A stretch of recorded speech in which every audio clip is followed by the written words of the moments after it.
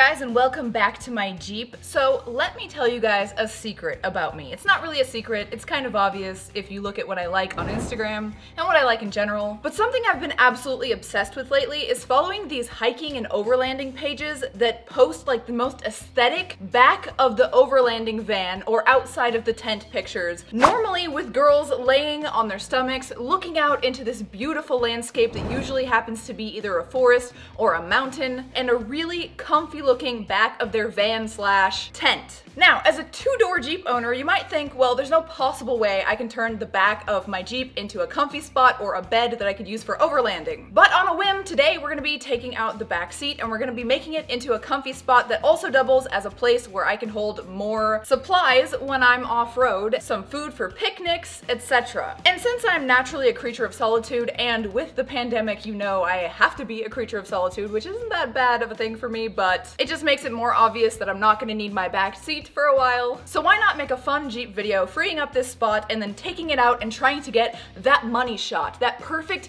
Instagram overlanding shot from inside of my Jeep out looking at an amazing landscape, which I think, if we can get to my favorite location in the world, is going to be a skyline of Las Vegas. But before we do that, I have a few little Mopar mods, mods, I use that word lightly, that I bought recently that I'm finally going to be installing. We have three in total. The first of which we are going to be installing is these door protector sills. Now I spend a lot of time, if you've seen my Instagram or any of my videos, standing on the door sills of my Jeep. I basically just like jungle gymming the fuck out of my Jeep. So why not put these cute little things that say Wrangler in the door sills and protect my Jeep a little bit more while adding more black accents, which you guys know I love. Red and black is so Reaper. So the process by which we're going to be doing this is I'm first going to take my distilled water. I'm gonna spray it on the area that I'm going to be sticking the door sills. That's effectively gonna loosen up any dirt and make it easier for me to use the next step, which is a little diluted concoction of car cleaner, car wash, and a clean microfiber cloth to completely clean the area before I stick the door sills on. We're also gonna use this isopropyl prep little wipe here to wipe off the door sill to make sure the adhesive sticks properly because what's on the bottom of those is basically just two strips of adhesive.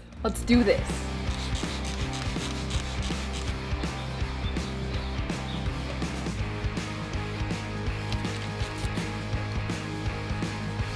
Five minutes.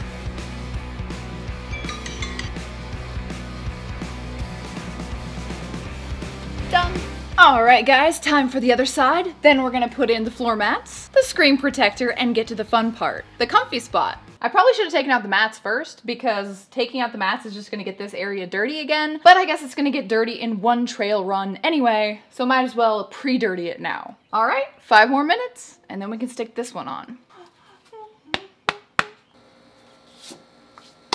All right, floor mat time. Our second adventure is going to be installing these all-weather mats. Now you might be wondering, Tara, don't you already have all-weather mats in your Jeep? I don't think anyone has noticed that, but if you do ask, yes, I do. But the reason I want these in particular is because red accents. That's literally it. It has red accents on it. So I want the ones with the red and black just to further solidify my aesthetic of the red and black in the Jeep. And it's also nice to have another set of mats. The process to put these in is a little bit more confusing than I thought it would be. I thought you would just throw the mats in there like with every other car, but these actually have a hole that allows you to drain out any water in case you go water fording. That should be a pretty quick and easy install, but it's gonna make all the difference.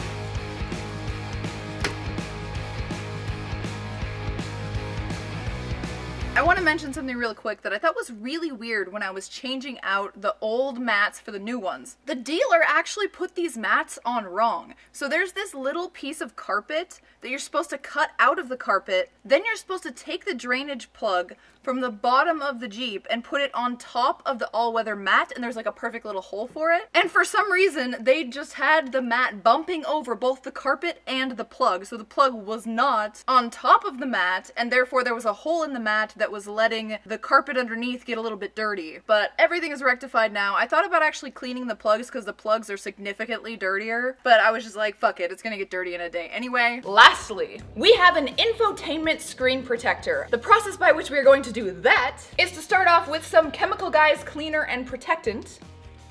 This is not the right size screen protector. Wow. Well, I guess I have to get back to the drawing board, guys, because I do not have such a small screen. I can't even see what it says on here because there's a fucking sticker on the front of it. Let's go ahead and have Jay take carefully the back seat out of the back of the Jeep so I can work on making it cute, aesthetic, and comfortable, as well as functional. And I got this cool bag to store it. This is a nine foot Christmas tree bag. If you guys want any of these products, including this one, I'll be linking that down in the description. If you've ever wanted to take out a back seat, this is a great way to store it. It's basically like like a tarp but in bag form with handles on the side and it's a very similar size to your back seat or to the standard back seat.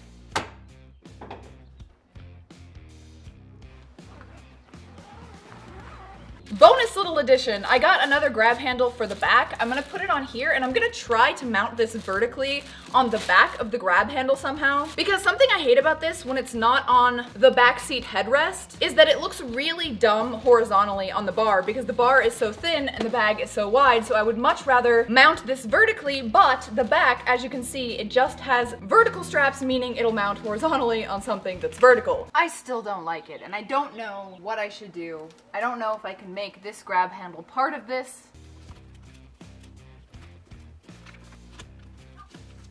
Ding, ding, ding! I think we have a winner, at least for the moment. This is much better. The top of the handle is supported by this metal part on the top of the seat belt, and overall I think we have our layout for this.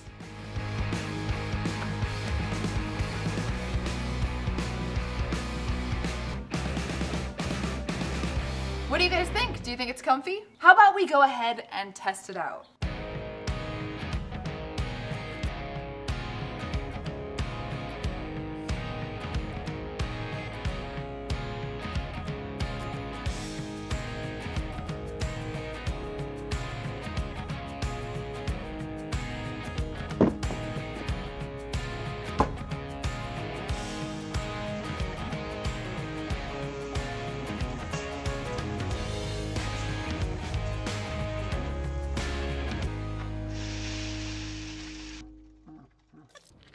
Guys, we're here in one of my favorite places, Jay and I's favorite places. Whoa, I almost just slipped off a mountain and died. The low-key reason why I made this video in the first place, if you guys don't remember, is to make my Jeep a comfy spot and take a photo that looks similar to this. But also we're gonna be playing some chess in the back of my Jeep comfy spot, having a picnic and having a good time. So, without further ado, here's the montage of that. Enjoy!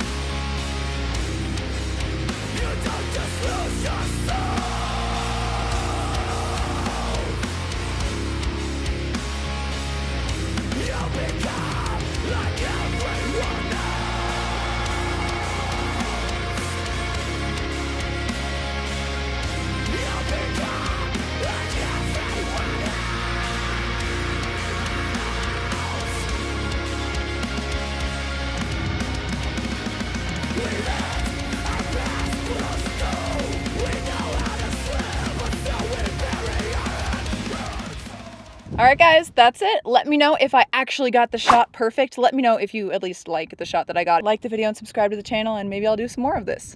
Love you guys. Bye.